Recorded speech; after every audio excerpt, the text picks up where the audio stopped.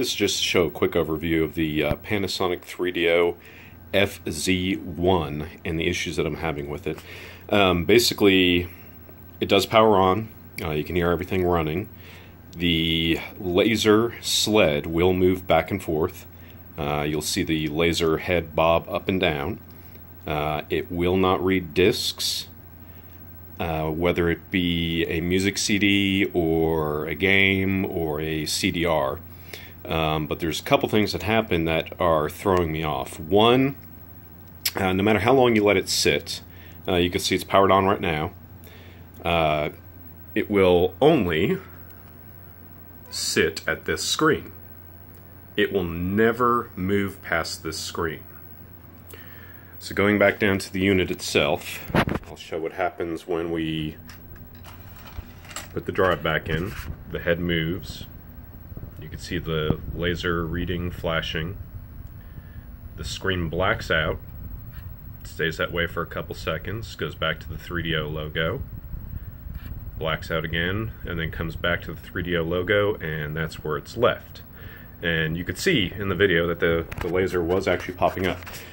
Now, here's what throws me off. One, the Panasonic 3DO, from my understanding, uh, if there's no disc, typically when it sits long enough, it'll eventually come up and say, please insert disk. Even if it's sitting here, it should typically go on to the asteroid screensaver, and I am not seeing that. What's unusual though, and why I'm thinking it may not be a laser problem necessarily, uh, is you can look at the very front here, and very dimly the access light is just constantly flashing. I'm not sure why. It's not the same intensity as, uh, let's say, for example, I had eject, and I'm going to go ahead and put in a music CD. It's just a quick testing. And you'll see the intensity is actually much brighter when it's trying to read. And then it goes away, screen goes black, tries to read again, can't read. Goes black, and then it basically sits here.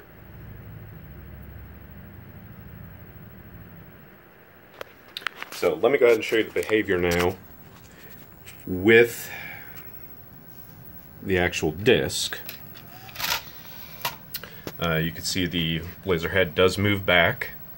And just to show, because somebody mentioned maybe um, the rails need greased. Uh, the rails are perfectly greased. Uh, side note, this has been completely recapped.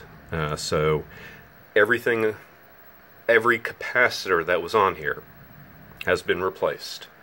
Um, I'm going to show you here.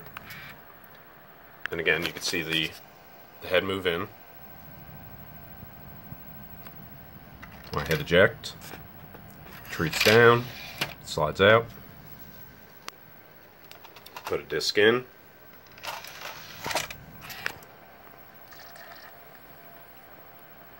everything spins and it spins up, stops, spins up fast again,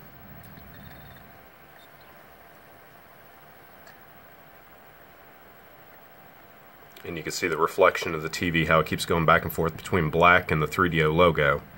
Um, but basically this is as far as it goes. Uh, I do have the bar that goes up top here that's just sitting aside right now. Uh, I just wanted to see if I could actually see the laser through the CD, which I don't, uh, because I know on some of the other disc-based systems, but again, it's a different laser. Um, you could actually see the laser through the disc as it was trying to read the disc. So but if you have any thoughts or ideas on what to do to try to get this unit working, please, I mean, feel free to give me some tips, advice, uh, if there's any particular voltages I need to read or anything like that. Um, I can't find any schematics online, but I'm trying everything that is known. And again, you can see there's the front, there's the difference in the intensity. There's it trying to read. There's no disc in it right now. and then you see that slight just blinking. It constantly does that, like it's trying to load something, but it can't. Uh, so I'm, I'm, not sure if the BIOS is messed up or uh, some sort of EEPROM or ROM or or what. But uh, hey, I mean, hopefully I can eventually get this damn thing working.